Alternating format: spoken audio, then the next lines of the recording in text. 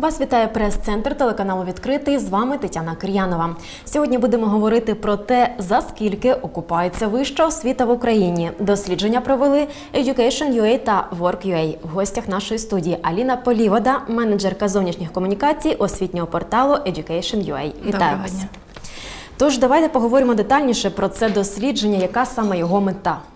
Так, е, доброго дня ще раз. Е, Я сьогодні представляю тут освітній портал Education.ua. Е, Ми допомагаємо обрати, де навчатися. І от у нас е, зараз є найбільший в Україні каталог освітніх закладів навчальних програм, а також окремий розділ вступ для вступників, де ми збираємо всю корисну інформацію, інструкції, які мають допомогти вступникам легко пройти всіма етапами вступної кампанії. І от, е, збираючи різну інформацію, створюючи матеріали для вступників, неможливо не задаватися якимось глибинними питаннями про освіту і вищу освіту, зокрема. І от е, нас зацікавило питання цієї окупності вищої освіти. І в березні, квітні цього року ми разом з сайтом пошуку роботи Work.ua провели це дослідження, за скільки може окупитися вища освіта в Україні. А, от нам було цікаво, скільки потрібно витратити І гроші. студентам це цікаво, Ну, дуже та так, 100%, тема. Так. особливо, напевно, їхнім батькам. Так. Е, Чи якщо говорити про вищу освіту як про інвестицію в своє життя, чи взагалі можливо повертати ці інвестиції? Ну і е, так скільки коштують дипломи зараз?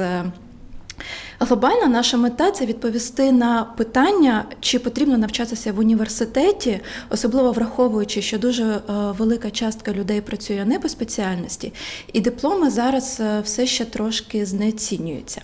І от навіть е, без цього дослідження, там відповідаючи нашим цінностям, можу сказати, що 100% навчатися варто, навчання, освіта вища, вона важлива, дипломи важливі, тому що якби це було не так, ми б не мали цих скандалів з публічними людьми про куплені або підроблені дипломи, е, не мали б скандалів про плагіат дисертаціях і так далі. Але нам хотілося дати вступникам, їхнім батькам саме аргументи і. Певний інструмент, з яким вони можуть е, працювати і подивитися на спеціальності і вищу освіту трошки з прагматичної точки зору. Е, Для чого це? Е, Для того, щоб підходити до питання вибору вищої освіти усвідомлено. Це якраз, на нашу думку, один з тих ключиків, який має прибрати цю проблему знецінення вищої освіти. Так. А чому вирішили саме зараз проводити таке дослідження? Чи в чому саме актуальність зараз? Ну от, грубо кажучи, за півтора місяці, 1 липня, починається вступна кампанія. Е, ну і фактично вона вже почалася, тому що саме зараз вступники готуються складати національний мультипредметний тест. Так. Це альтернатива зовнішньому незалежному оцінюванню, от за результатами якого вступники будуть брати участь у конкурсному відборі. Е, І одне з питань, яке сьогодні 100% хвилює всіх вступників, це на кого йти вчитися. І тут я можу говорити мовою фактів. У нас от на Education.ua в розділі вступ, де ми зібрали новини, інструкції, рейтинг закладів вищої освіти, календар вступної кампанії, матеріали для підготовки. І от е, по статистиці другим за відвідуваністю матеріалом, е, на який приходять шукачі, це саме інструкція з вибору своєї спеціальності. Тобто, це свідчить про те, що це питання воно засадниче для вступників, воно надзвичайно важливе. І вступники, як зазвичай обирають цю спеціальність, Е, хтось іде туди, куди йдуть друзі, хтось туди, куди скажуть батьки, хтось іде за покликом серця, хтось е, слідкує за трендами, там на кого зараз модно навчатися. Ну а хтось, знаєте, як доля скаже, от куди подам, туди, куди вступлю, туди і буде. Але зараз в це питання, ну от. е, Тут вже якби виникають гроші, тому що бюджетних місць е, по статистиці стає менше з кожним роком, і ми не можемо бути впевнені, що ця ситуація зміниться в іншу сторону е, найближчим часом. І е, тут вже інше питання. А якщо, наприклад, не вистачає бюджетних місць, то треба йти навчатися на контракт. Тобто, чи коштує ця спеціальність цих грошей?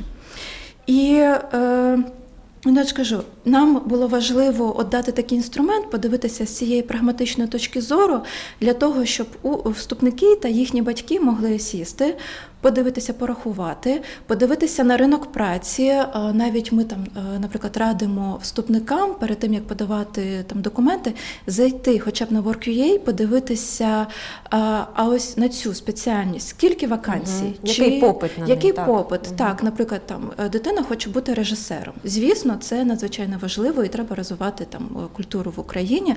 Але я впевнена, що ну от в мене, наприклад, таке було, що ця вся ідея вона трошки така мрійлива, рожева, і під нею не було ніяких там е, засадничих е, розмірковувань, ніяких аргументів, оцінок. От зайти подивитися.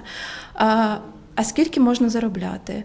А, скільки їх взагалі шукають? А де взагалі потім працювати? А чи можна далі розвиватися в цій професії? І от е, нам здається, от ми всі в Education UA впевнені, що до вибору спеціальності треба підходити з розумом для того, щоб ці дипломи потім цінувалися, для того, щоб вища освіта нас розвивалася, був певний створений інститут репутації стосовно вищої освіти. Тут треба починати от самих глибин, а на кого йти вчитися, і ким я потім зможу працювати. Пані Ліно, цікаво, як саме ви підійшли до дослідження, на основі чого вираховували окупність? Це було рівняння з двома такими е, двома сторонами. Е, Нам спершу треба було визначити, скільки взагалі коштує навчання на бакалавраті, і е, за скільки це навчання можна окупити. Тут дослідження було доволі великим, тому що спершу ми, ми зрозуміли, що нам хоча б потрібно обрати 5 спеціальностей, на які найчастіше подають документи, тобто найпопулярніші спеціальності. На сайті Міністерства освіти і науки і сайті Єдиної державної електронної бази з питань освіти ці дані відкриті, можна подивитися. Е, Визначили, що найпопулярнішими спеціальностями є право, комп'ютерні науки, філологія, менеджмент і психологія. Далі ми зрозуміли, що нам потрібно визначити, по яким містам ми будемо дивитись, тобто куди їдуть вчитися студенти. Традиційно це найбільші студентські міста: це Київ, Львів, Харків, Одеса і Дніпро. Е, Потім потрібно було відібрати університети, в яких є хоча б дві ці спеціальності. Е, Чому ну і тут, е, тут вже стало складно, тому що зазвичай всі п'ять спеціальностей їх викладають у В е, усіх, класичних, Мгм. класичних університетах, а вони розосереджені по регіонам України. Тут пощастило тільки Києву. В Києві є от ті п'ять університетів, які ми обрали. У всіх п'яти є всі п'ять спеціальностей. Е, В інших регіонах е, з цим була трошки важча ситуація, але ми відібрали в кожному місті по п'ять закладів вищої освіти, де є хоча б дві ці спеціальності, щоб наша вибірка була ширшою. Як обирали? Ми подивилися по рейтингу університетів.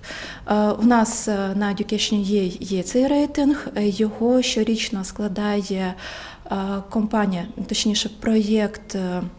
Євроосвіта, цей рейтинг називається Топ 200 Україна, і там можна подивитися по містам, ну як загальний рейтинг, так і по містам, е, де ми подивилися по кожному місту. У нас от ми відібрали по 5, потім подивилися, чи є в цих п'яти ці спеціальності. Якщо немає, рухали далі е, цей список.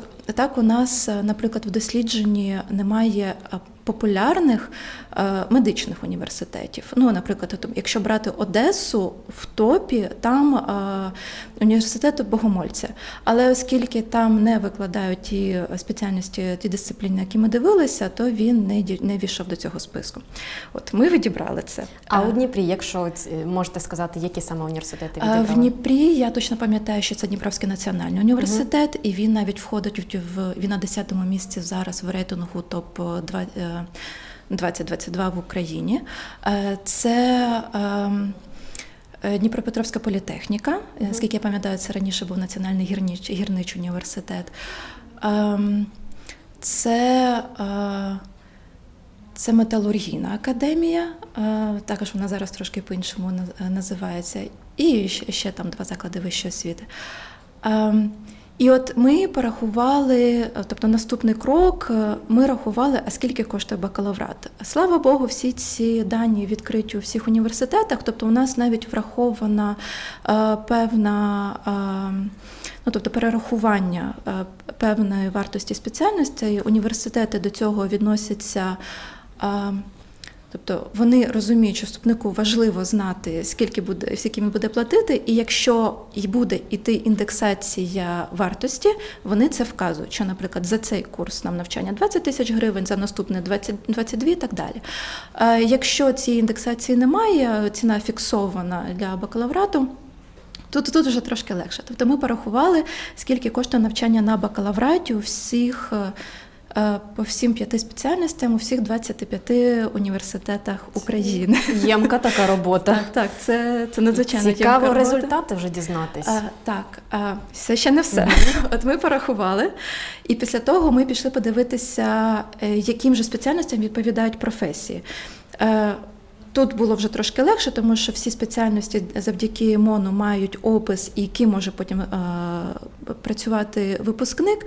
Тобто, якщо право це юрист, якщо комп'ютерні науки може працювати випускник системним адміністратором, філологія ми взяли перекладач- перекладача англійської мови, тому що на англійську філологію втричі вище попит, ніж на українську. Е, Менеджмент тут надзвичайно широка, широкий вибір спеціальностей від менеджерів логістики до е, менеджерів там е, з продажів. Ми взяли менеджер, який працює з людьми, тобто там HR-менеджер, і психологія, психолог. Е, Визначили середню заробітну плату, це можна подивитися також на Work.ua, і потім е, вартість бакалаврату за 4 роки ділили на е, середньомісячну заробітну плату. У нас за результатами вийшло так, що найлегше, тобто найбільше окупається комп'ютерні науки і менеджмент, Е, тому що ну, комп'ютерні науки, звичайно, ідуть працювати в ІТ. Е, Ми знаємо, що там з зарплатами трошки краще, ніж на інших напрямках. А менеджмент якраз через те, що є цей широкий вибір майбутньої спеціальності, і можна працювати дуже в багатьох сферах, і можна підібрати ту, е, де знадобляться ці знання управлінські, і де можна непогано заробляти. Ось комп'ютерні науки менеджмент. Е, Трошки гірше, але також непогано. От е, вони окупаються приблизно за 7 місяців. Е, Трошки менше за 8 місяців окупаються право і філологія, і гірша ситуація з психологією, вона в середньому окупається за 9 місяців.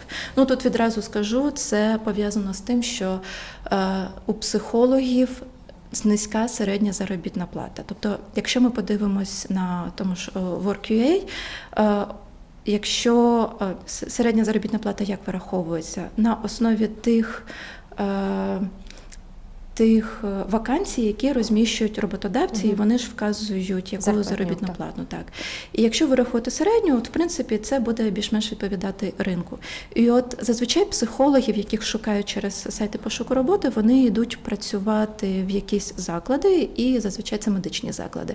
Тому ми тут не можемо порахувати, скільки буде отримувати психолог, який веде власну практику, але й напевно випускник, який тільки завершив е, заклад вищої освіти, не буде не мати буде власні одразу, практики. так. Так, він буде працювати на десь приблизно 14 тисяч тисяч гривень. Ось, якщо е, цікаво, можу розказати по містам. Так. Які в нас виникли результати? Тут е, хороша. Дніпро цікавить дуже. Дніпро е, в Дніпрі найлегше відбити вартість навчання. В середньому по всім спеціальностям е, треба десь попрацювати 6,5 місяців, щоб відбити цю вартість навчання. Це пов'язано з тим, що в Дніпрі одна з найнижчих, ну в порівнянні з Києвом, Львовом, Харковом, вартість навчання і непогані середні заробітні плати. Оплата. Найважче в Києві. Тому що навчання в Києві дороге, воно двічі дорожче в середньому за навчання в Дніпрі, а середня заробітна плата, попри міфи про київські зарплати, не настільки високі. Тобто в Києві треба пропрацювати ну, десь близько 9 місяців, там відкладаючи ці гроші, щоб повернути а, вартість навчання.